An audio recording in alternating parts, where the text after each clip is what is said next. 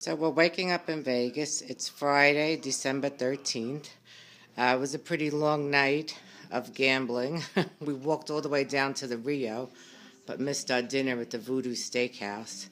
But we did see the X Rock show, which I put up. And this is the morning. It's about 6:30. So that's very nice. I thought I would take a shot from our window here on the 20th floor. And that's down the flamingo habitat.